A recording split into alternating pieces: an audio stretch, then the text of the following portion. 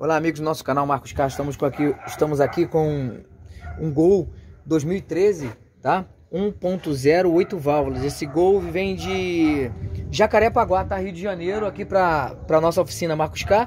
E qual é o problema desse, qual é o defeito desse carro? Rodou algumas oficinas, fizeram bastante coisa no carro, né? trocaram o comando do carro, você pode ver aqui pela pela pela cola, né? Muito recente, não é isso?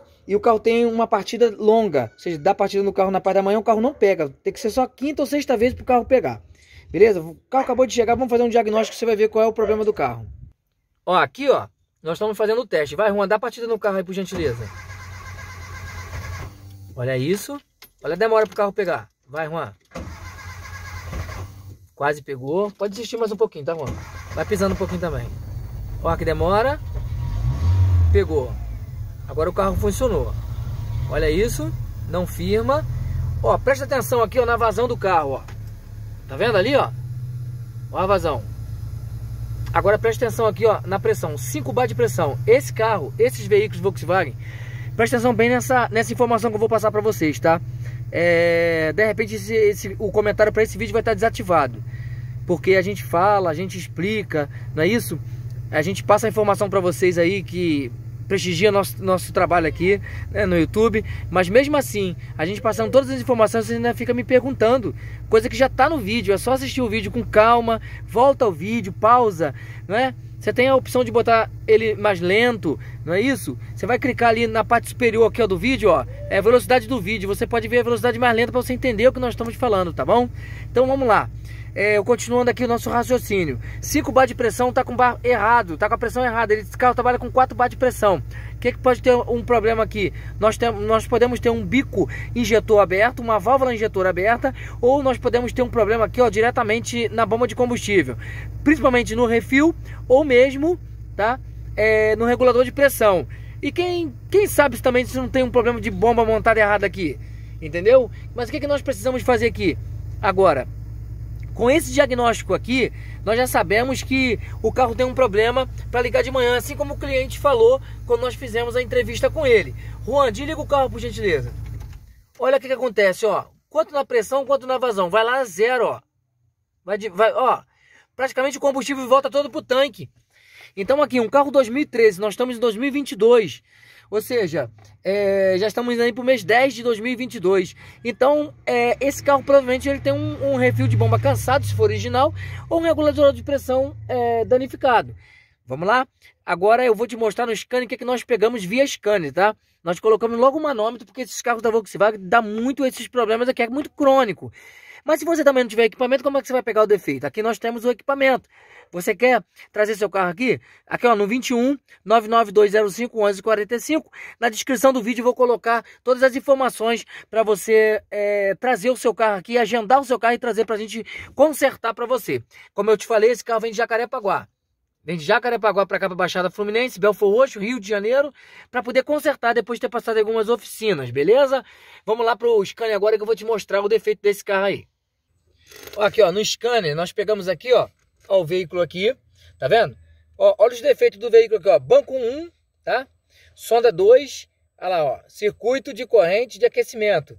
Sinal incorreto, tá, ó, ó, o sinal da, da velocidade do carro não tá marcando velocidade, isso aqui não interessa muito pra gente, mas aqui, ó, atenção, alimentação 30 do borne da bateria, ó, tá vendo? Sinal baixo do limite. Então a gente sabe que esse carro tem um problema de gerador, que é ali do alternador, entre chicote positivo e alternador, e também é, tem um problema ali na bomba de combustível. Então o que, que a gente vai fazer agora? Nós vamos trabalhar em cima, vamos desmontar e vamos trabalhar em cima desse problema da bomba de combustível, beleza? O que, que eu vou pedir para você? Vou pedir para você deixar um like pra gente. Tem, tem que deixar um like pra gente aí, beleza? Você vai deixar um like pra gente. Você vai se inscrever aqui ó, nessa taxa vermelha que eu escreva-se. Não sai sem dar, deixar o like não se inscreve aqui e aciona o sininho com as notificações. Legal? Vamos lá. Vamos lá desmontar aquela bomba e vamos botar na bancada e vamos te mostrar o defeito dela lá.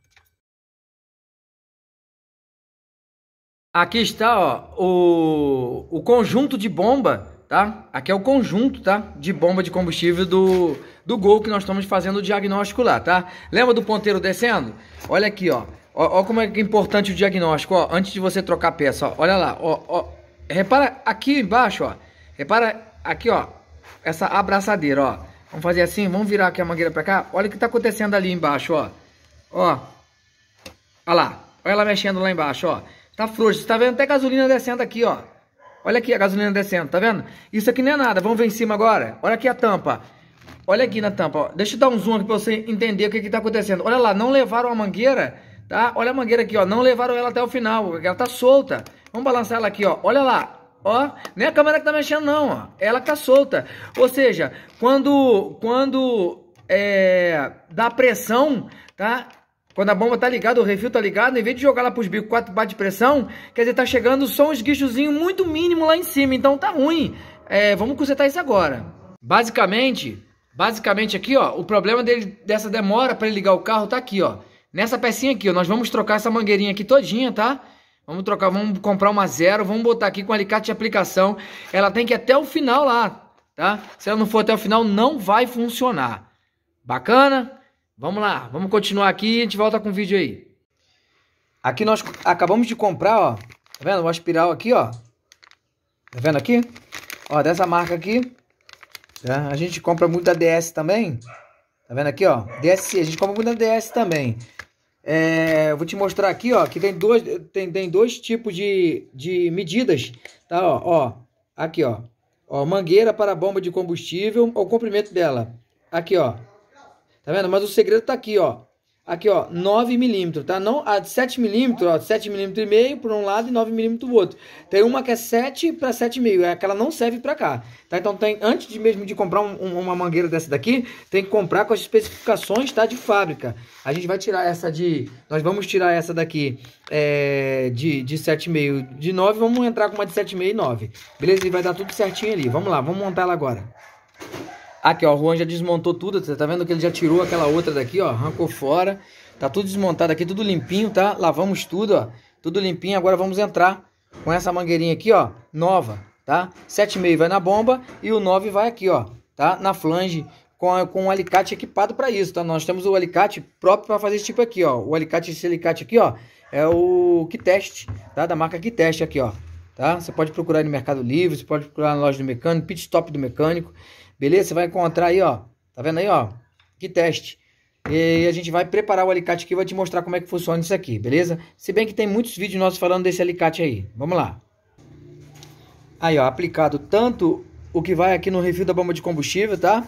Como também o que vai aqui na flange, na tampa, tá vendo? As abraçadeiras aqui, ó, original Bosch, tá bom? As abraçadeiras de 9 milímetros, aqui, ó, com alicate foi até o canto, os dois lados, não mexe mais, tá? Não tá mexendo, olha lá, olha lá, onde foi até o final, tá vendo?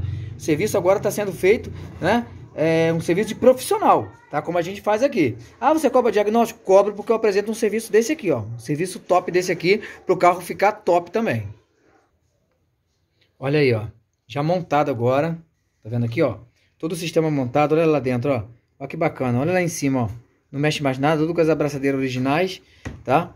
Depois é só, ó, tem que fazer esse movimento aqui, ela, ó. Tá vendo? Olha o movimento que ela faz, ó. Agora vamos botar no carro. Vamos botar no carro e vamos medir lá pra você e vamos ligar esse carro aí. O carro vai pegar melhor, vai segurar, vai estancar e vai dar tudo certo. Vamos lá. Aí, como nós estávamos falando, aí, ó, não tem uma luz de injeção acesa, rotação bacana, não tem luz de EPC. É, olha lá, eu não sei se você consegue ver, eu vou dar um zoom aqui, ó, tá meio chuviscando lá fora, ó, 13.70 armou agora o eletroventilador. Voltamos aqui pro Scania, ó. Tá vendo aqui?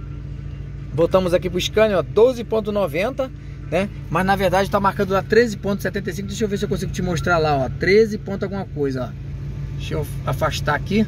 Não vai dar para te mostrar 100% porque tá chuviscando, tá bem na frente, mas a gente consegue ver 13.59 quando a arma ventoinha aqui tá marcando 12, tá?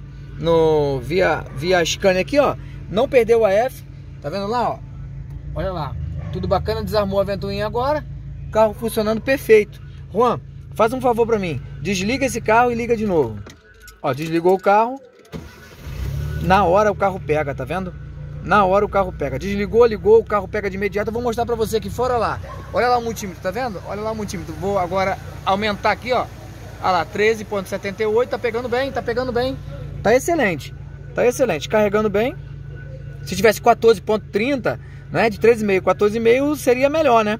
Mas O carro tem um som também lá na mala, um som muito grande, muito, muito potente, né? Provavelmente tem uma outra bateria estacionária lá é, dividindo aí essa voltagem. Mas enfim, o carro veio para fazer o sistema de funcionamento dele na parte da manhã, já está pronto, tudo ok aqui, ó, tá? Olha lá, sem luz de injeção, o carro pegando bem. Vamos fazer mais um teste aqui, vamos desligar aqui, ó. Isso para você ver, tá? Que a gente faz, a gente faz e mostra, olha lá. Acionou, olha a luz de injeção lá, ó. ó. Rápido, ó. Rápido sem pisar em nada lá, já apagou. Ok, tudo ok, ó lá o multímetro e aqui tudo no parâmetro, tá vendo? Então, será que esse vídeo merece um like? Deixa um like pra gente, se inscreva no canal, acione o sininho com as notificações. Até a próxima reparação automotiva. Você tem um golzinho G4, G5, G6, G7? Traz pra gente. Traz pra gente aqui, ó. Primeiro manda um WhatsApp aqui no 21 99205 1145. Fala com a gente, agenda, traz o carro e nós vamos deixar o seu carro funcionando desse jeito aqui. Não leve o seu carro em qualquer lugar, vem pra Marcos Car.